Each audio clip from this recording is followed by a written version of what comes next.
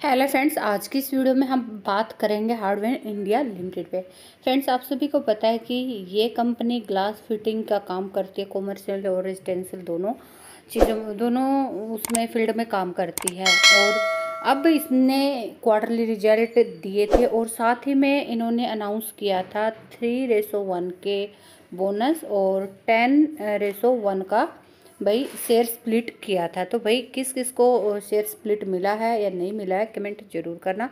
और यहाँ पे इन्होंने डेट पाँच जून की रिकॉर्ड डेट बताई थी। अब पता नहीं भी किसको मिला किसको नहीं, जिसको भी मिला हो, वो कमेंट ज़रूर करना। यहाँ पे अगर हम बात करें आज के तो हमारा ये एक रिस्टेंस था, जो कि था थर्टी पॉइंट फोर सिक्स का। यहीं से मार्केट ने करेक्शन दिखाई है। यहाँ पे अगर आप देखोगे तो ये है हमारा टारगेट अगर ये इसका ब्रेकआउट कर देता है और इसके ऊपर क्लोजिंग दे देता है कन्फर्मेशन दे देता है तो ये thirty five point four eight तक ये स्टॉक जाता हुआ नज़र आ सकता है। ये हमारा सेकंड टारगेट रहने वाला है।